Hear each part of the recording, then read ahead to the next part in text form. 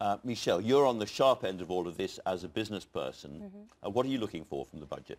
Well, I think that um, we really, there, there seems to be often a quite anti-business narrative in this country, which I strongly disagree with. Um, we're talking about capitalism being a bad thing and all the rest of it. Again, I disagree with that.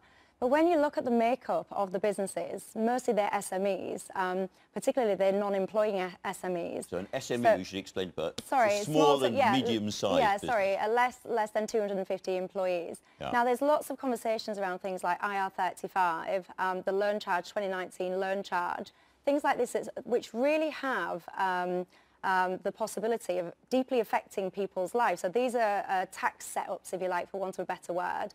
Um, that people have entered into legally that now, for example, if you look at the 2019 loan charge, they're talking about it's a retrospective tax going back 20 years. And there's lots of businesses which people are saying, telling us they'll be made bankrupt if this goes ahead, and people even threaten to kill themselves. It's a big issue out there. It's absolutely, it's a huge issue. Um, but even going through the newspapers, I've struggled to actually find it referenced. But for SMEs, for, for um, sole traders, self-employed, etc., this is a massive issue.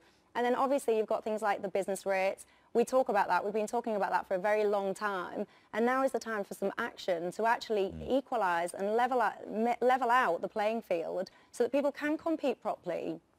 Can I ask you about one other issue which is really getting people upset at the moment, which is the retrospective grabbing of people for tax who thought that they were uh, engaging in entirely legal tax avoidance schemes over the mostly self-employed people or small businesses. And the Treasury is now retrospectively going after them, in some cases for sums that will bankrupt their businesses or bankrupt their households, and people are even talking about committing suicide as a result. Are you looking again at this?